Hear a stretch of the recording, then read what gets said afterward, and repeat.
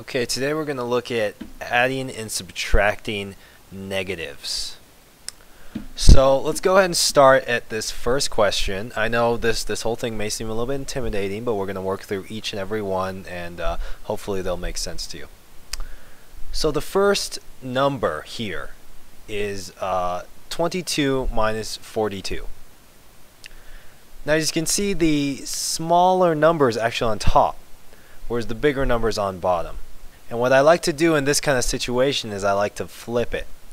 So I like to put 42 on top and 22 on the bottom. And that way we can subtract 2 from 2, that'll be 0. And 4 from 2 will be 2.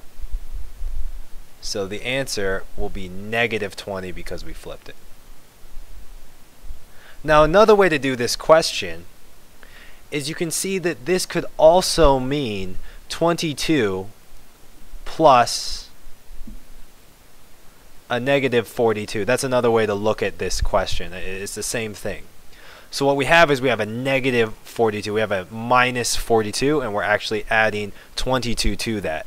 So the number, it's not going to be positive because 42 is the bigger number and, and 42 is negative. So the answer is going to be negative. But uh, to solve for it, the easiest way is to flip it and then make sure you remember to put the minus sign in there because the answer will be negative.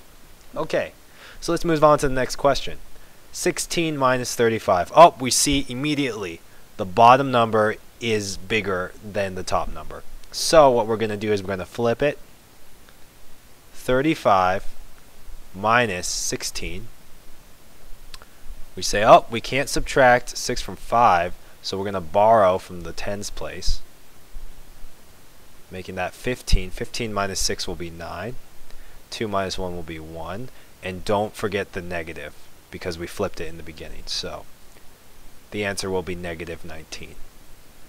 So now we see here 15 plus a negative 5. And what the heck is this parentheses here? Now, sometimes professors won't write the parentheses in, but uh, so, you know some teachers like to do that to, to make it look a little bit easier in the eyes. Otherwise, we have a plus and a minus and close together, and it's kind of confusing. But uh, if your professor doesn't do that, you know, just realize it's normal. If your professor does, then it's normal as well. So here we're seeing 15 plus a negative 5. Now this is actually equivalent to 15 minus 5, which will be positive 10. Now let's let's look at this question here. Negative 8 plus 61. And the thing that you can do in math problems, which is really great, is you can rearrange these uh, numbers. So I'm going to rearrange this to for 61 minus 8. It's the same thing because 61 is positive. We have the positive here. And we're actually adding a negative 8, which is the same as subtracting 8. And here, borrow from the tens place. 11 minus 8 is 3 the answer will be 53. Let's move down here. 45 minus a minus 62. Now, when you see two negatives together, this actually makes a positive. Two negatives makes a positive. So this actually is the same as 45 plus 62. And we know how to solve for this. 5 plus 2 is 7. 6 plus 4 is 10. Your answer is 107.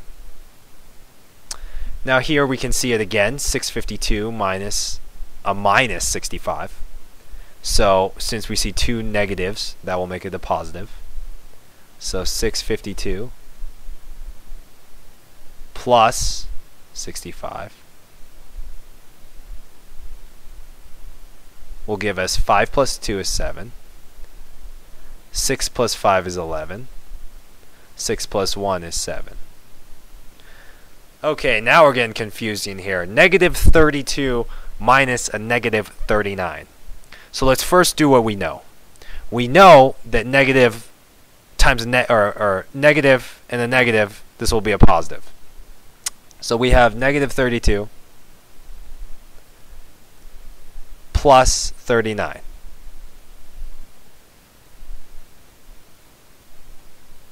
And now we can go back and we can see, okay, how did we deal with with negative numbers when we're just adding positive numbers? And this is the same as 39 minus a 32.